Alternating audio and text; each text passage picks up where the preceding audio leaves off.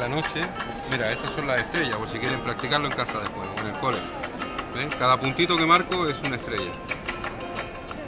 Y la luna en el centro, mira. Y para que quede la luna más redonda, lo que hay que hacer es golpearla un poquito hacia atrás, ¿ves? ¿Ves? Se pone más redonda. Ahora mezclo amarillo con azul y hago los árboles. Así ves, la vegetación.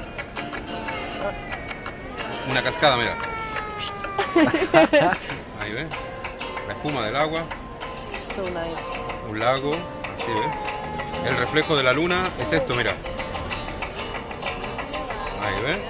Y las plantas que separan la orilla del lago, así. Así ves. ¿Ves? Mira, y el pajarito es la firma. ¿Ves? Ahí queda. Increíble. Esto porque si lo practican en casa, lo hacen con más calma, porque yo intento pintar rápido para no estar toda la tarde con el brazo. Ah, esto vale barato, esto vale, uno vale 6 euros o 3 por 10 euros.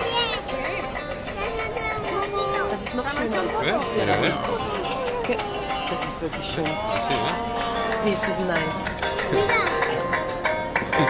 ¡Es muy bonito! Mira, eso, con una montaña.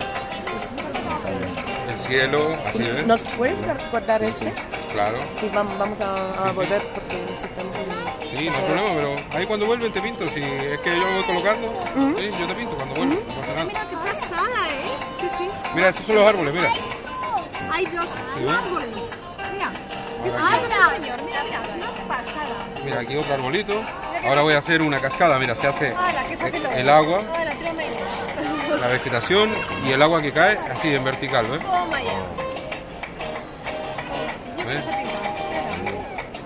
Y la espuma del agua para que se vea ahí el movimiento, así. Es un artista, ¿eh? Y ahí queda el detalle del pincel con el- la firma.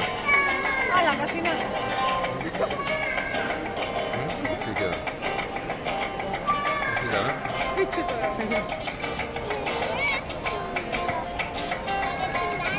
¡Chulada! Vaya. Cuidado, cuidado, sin apoyarse en la mesa, por favor. Que está los cristales encima. Gracias. Ven, ahí, a ver.